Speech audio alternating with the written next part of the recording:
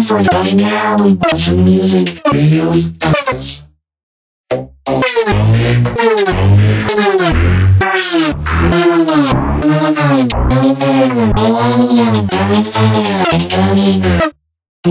Now,